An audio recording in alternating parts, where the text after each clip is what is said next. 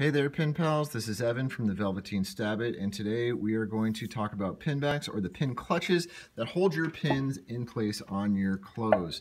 There's three types. There's the uh, the classic butterfly, there's the more modern vinyl, and then there's the locking pin backs. And these are our favorite, but we're going to start with the butterfly pins. You guys are all familiar. All you guys, all you got to do to operate these things is squeeze on those tabs.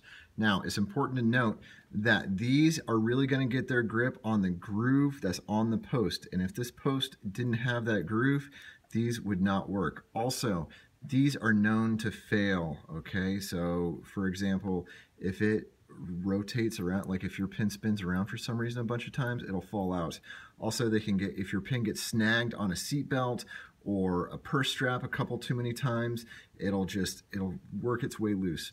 They can fail and it really sucks to lose a pin, especially a really cool vintage pin like this. this that would be hard to re replace. Uh, the next type of pin back is the vinyl pin back. And these are probably our least favorite but they do have their merits. One of them is that they're smoother, so if it's rubbing on your bare skin, it's not going to be as annoying. Another is that they can really get cranked down, so you can really push that cleat right there into your shirt, and that helps prevent the pin from rotating around. You know those pins that always want to be upside down? Um, the vinyl back can really get that cleat stuck in there and keep it from rotating around. That way you don't have to be annoyed by fixing it all the time. The downside of these is that they wear out. That hole in there can really start to just get old and stop being pliable and then they just don't hold a good grip. Um, also, sometimes when they're brand new, they just aren't that great. For example, these black ones came with some pins that we were selling for a while, and they just didn't hold the pins on shirts very well. And some of our friends lost their pins. We had to we had to stop using those. Okay, the last uh, pin is the the last option is the best. It's the locking pin back. This is the vintage locking pin back that comes on some of the vintage pins.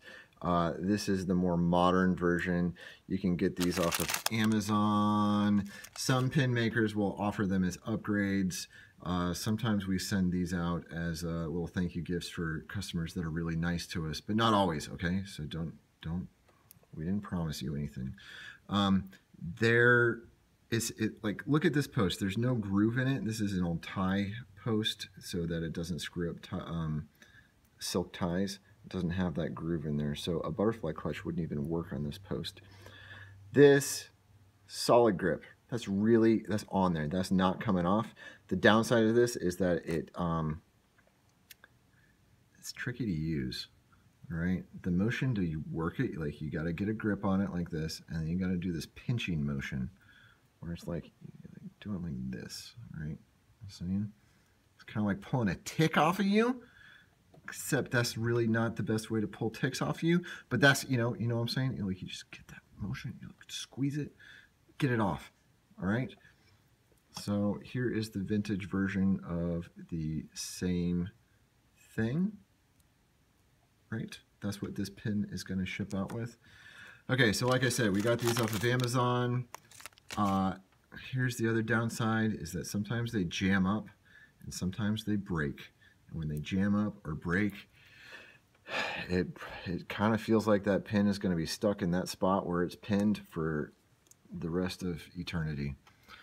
But I'm still going to recommend that. That's what Emily and I use on all our pins in our personal lives. So maybe that's what you should use too. Let us know what you think. You have any comments? Did we miss anything? There is one other type of pin clutch, but it requires tools and I've never used it, and I don't think I'm ever going to use it. So, leave a comment.